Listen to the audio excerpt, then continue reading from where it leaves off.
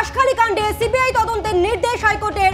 রাজ্য পুলিশকে মামলার সব নথি তুলে দিতে হবে। কেন্দ্রীয় তদন্তকারী সংস্থার হাতে দোসরা মে আদালতে তদন্তের অগ্রগতির রিপোর্ট দিতে হবে সিবিআই কে পুরো বিষয় জানব অর্ণবাংশ রয়েছে আমাদের সঙ্গে। অর্ণবাংশ।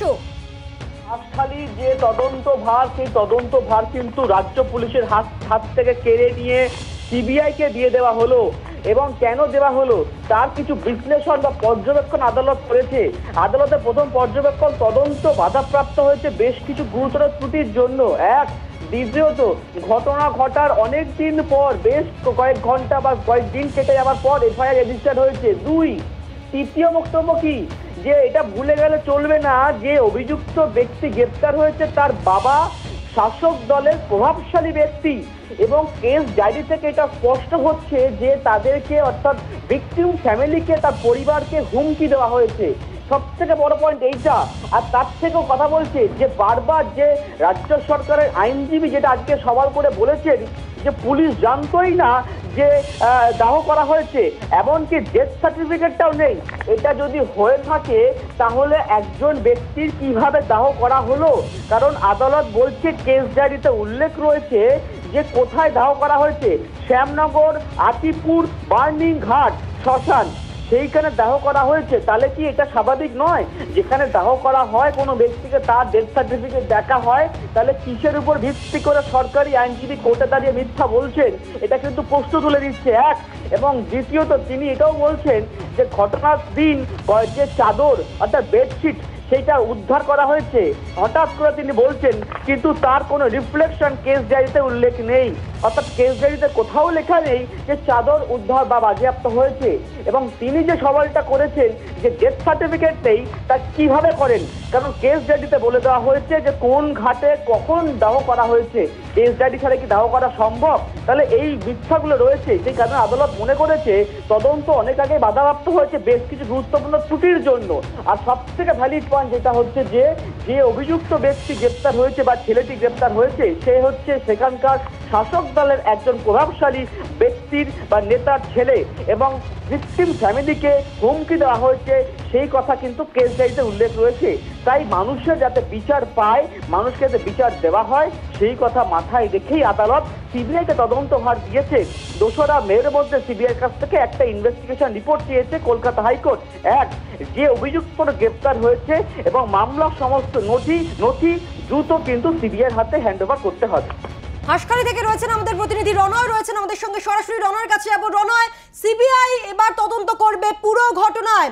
নির্যাতিতার পরিবার, পাড়া প্রতিবেশীরা কি বলছেন এবার? দেখো, নাবালিকার এই পরিবারের সদস্যরা কিন্তু সিবিআই বা রাজ্য পুলিশ তারা বোঝেন না। কিন্তু তারা বারবার অভিযোগ করে আসছিলেন যে শাসক দলের বিরুদ্ধে এবং পুলিশ সেখানে নিষ্ক্রিয়, পুলিশ তাদের অভিযোগ নিচ্ছে না বা পুলিশ তাদের তদন্ত ঠিকঠাকভাবে করছে না। এই বিষয়ে আমরা নাবালিকার জামাইবাবুর সঙ্গে কথা বলেছিলাম। তিনিও কিন্তু সেই একই কথা বলছিলেন যে নিরপেক্ষ তদন্ত কিন্তু পুলিশের দ্বারা হবে না এবং এ বিষয়ে আমরা গ্রামের বাসিন্দা এবং আশপাশের প্রতিবেশী তাদের প্রত্যেকের সঙ্গে কথা বলেছে। জি চব্বিশ ঘণ্টা আমরা নিজেরা কথা বলেছি।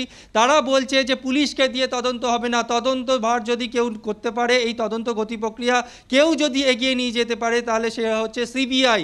এবং এর আগে যে সমস্ত ঘটনা ঘটেছিল, সেগুলো সিবিআই তদন্ত করছে। তাই এই ঘটনার পরিপ্রেক্ষিতেও গ্রামের বাসিন্দারা, সেখানকার প্রতিবেশীরা, তারা প্রত্যেকেই বলছিলেন যে সিবিআইকে ছাড়া এই তদন্ত করা সম্ভব নয়। কারণ যার ছেলের বিরুদ্ধে এই অভিযোগ, তার বাবা এলাকার মস্তান, অর্থাৎ তৃণমূল নেতা এবং তিনি একজন প্রভাবশালী নামেই পরিচিত।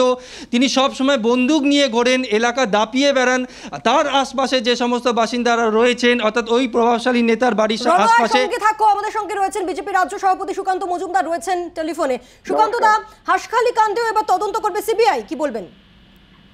এবং পরিবারের তরফ থেকে এবং গ্রামবাসীদের তরফ থেকেও এই দাবি জানানো হচ্ছিল এবং এটা শেষবারের মতো প্রমাণ হয়ে গেল যে রাজ্য পুলিশের আর কোনো প্রয়োজন নেই গোটা রাজ্যের দায়িত্ব কেন্দ্রকে দিয়ে দেওয়া উচিত। এবং সিবিআই যদি একটার পর একটা তদন্ত করে, তাহলে রাজ্য পুলিশের তার কোনো প্রয়োজন থাকছে না। ফালতু সাধারণ মানুষের ট্যাক্সের টাকায় তাদের মাইনে দেওয়ারও কোনো মানে হয় না। অর্থাৎ রাজ্য পুলিশকে যদি সঠিকভাবে, নিরপেক্ষভাবে কাজ করতে হয়, এই সরকারের হাত থেকে বের করে আনা প্রয়োজন, নচেত এই সরকার থাকতে এই রাজ্য পুলিশ নিরপেক্ষভাবে কাজ করতে পারবে না, সম্ভব নয়। এবং বিচার ব্যবস্থা বা ন্যায়পালিকা বারবার প্রমাণ করছে যে এই সরকারের প্রশাসনের উপরে বিচার ব্যবস্থার কোনো আস্থা নেই বিন্দুমাত্র আস্থা নেই। সুজন চক্রবর্তী রয়েছেন সিপিএম নেতা আমাদের সঙ্গে। সুজন দা কি বলবেন? হাইকোর্টের নির্দেশ এখানে বলা হচ্ছে হাসখালি কাণ্ডে তদন্ত করবে সিবিআই। দেখুন হাসখালি কাণ্ডে সিবিআই তদন্তের নির্দেশ দিয়েছে প্রধান বিচারপতির বেঞ্চ। এর কোনো বিকল্প তো ছিল না। হাসখালি কাণ্ড স্পষ্ট ধামাচাপা দেবার ব্যবস্থা হয়েছে।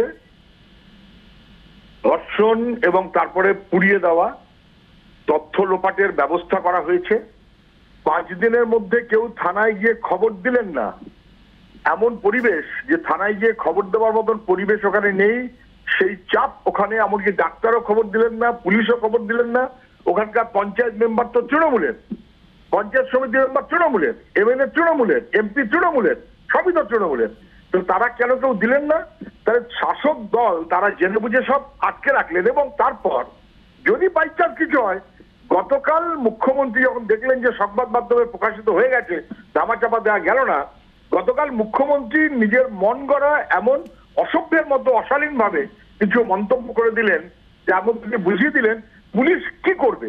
উনি পুলিশ মন্ত্রী, উনি বলার মধ্যে দিয়ে ইঙ্গিত দিয়ে দিলেন, পুলিশ কি করবে? ফলে পুলিশের তদন্ত কিছু হবে না, এটা স্পষ্ট। মুখ্যমন্ত্রীর গতকালকের ভাষণ। অসভ্যতা। নির্দেশ দিয়ে দেওয়া পুলিশকে পুলিশ কি করবে? এটা ইনস্টিগেট করেছে যে সিবিআই তদন্ত ছাড়া কোনো বিকল্প নেই। আমাদের সঙ্গে রয়েছেন প্রদেশ কংগ্রেস সভাপতি অধীর রঞ্জন চৌধুরী। আহ, অধীর দা আপনি আজকেও যখন গিয়েছিলেন নির্যাতিতা পরিবারের সঙ্গে কথা বলতে আপনি বলেছেন যে সিবিআই তদন্তের দাবি জানাবেন আপনিও এবং আজকে হাইকোর্ট সিবিআই তদন্তের কথাই বলল। হাইকোর্টের এই সিদ্ধান্ত পশ্চিমবঙ্গের সাধারণ মানুষের বিচার ব্যবস্থার প্রতি আস্থা, বিশ্বাস আরও বাড়াবে, এক নম্বর। দুই নম্বর, বাংলার সাধারণ মানুষ এবং সেই সঙ্গে সঙ্গে বিচার ব্যবস্থা। কেউ পশ্চিমবঙ্গের প্রশাসনের উপরে বিন্দুমাত্র আস্থা রাখেন না, ভরসা রাখেন না। আমি আজকে যখন হাসকারিতে সেই মৃত পরিবারের বাড়িতে গেছিলাম, তাদের বাবা মার সঙ্গে দেখা করতে গেছিলাম, তখন জানতে পারলাম, তাদের বাবা মাকে পুলিশ বারবার করে ডেকে পাঠাচ্ছে এবং সেখানে তাদের বয়ানকে প্রভাবিত করার চেষ্টা করছে। মুখ্যমন্ত্রীর নির্দেশকে বাস্তব, বাস্তবায়িত করার জন্য সমস্ত ঘটনাকে লঘু করে দেওয়ার আপ্রাণ চেষ্টা করছে সেখানকার প্রশাসন, সেখানকার পুলিশ। তার পরিবারের লোক সব ভীত, আতঙ্কিত হয়ে আছে। তারা গরিব মানুষ। হাওমাও করে কাঁদছে তারা। তাদের একটা দাবি, আমার মেয়েকে যারা হত্যা করেছে যাদের কারণে আমার মেয়ে আজকে মারা গেল, তাদের যেন শাস্তি হয়, অন্য কিছু না। কিন্তু ওখানকার পুলিশের যে হাব ভাব দেখলাম, পুলিশের অ্যাটিটিউড দেখলাম, সমস্ত ঘটনাকে ধামাচাপা দেওয়ার জন্য মুখ্যমন্ত্রী মুখ্যমন্ত্রীর নির্দেশে পুলিশ সতর্ক এবং সক্রিয়। এই অবস্থায় এই অবস্থায় যখন মুখ্যমন্ত্রী নিজে নির্দেশ দিচ্ছে, মুখ্যমন্ত্রী নিজে তার ব্যাখ্যায় বলছে যে এটা দর্শন, না এটা সম্মতি সম্মতিতে দৈহিক সম্পর্ক, না এটা প্রেম। স্বাভাবিক যখন মুখ্যমন্ত্রী নিজের ভাষাতে ব্যাপারটাকে লঘু করার চেষ্টা করছে, তখন পুলিশ তো নির্দেশটা ইশারাটা বুঝে যায়। ইশারামে কাফি, পুলিশের কাছে মুখ্যমন্ত্রীর বক্তব্যে যে ইশারা আছে ইশারা পুলিশ বুঝতে পেরে ওটা ব্যাপারটাকে ধামা চাপা দেওয়ার চেষ্টা করছে। এই অবস্থায় সিবিআই তদন্ত হওয়া মানে এই ঘটনার প্রকৃত সত্য উন্মো- সত্য উন্মোচিত হবার সম্ভাবনা স্পষ্ট হচ্ছে।